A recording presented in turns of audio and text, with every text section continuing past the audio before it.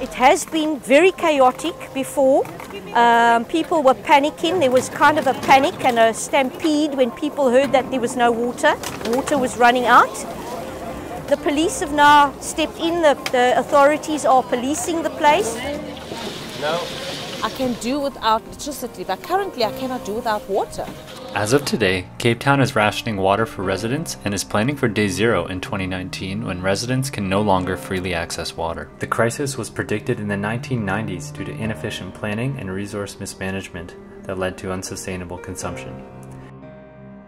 You may think this will never happen in Canada. While we have 20% of the world's fresh water supply, Recent reports demonstrate that our water is facing increasing stresses from climate change and overuse. The impacts are felt by our cities, our businesses, and our indigenous communities. What if we could prevent spoiled fishing and recreational opportunities? What if we could prevent water contamination from developments and industrial sites? What if we could detect and mitigate flood and drought damage brought by climate change and urbanization?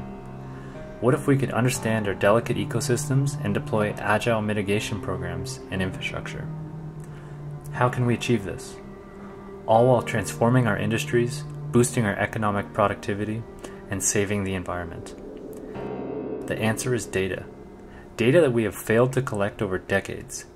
Data to understand our land. Data to guide billions of dollars of infrastructure investment.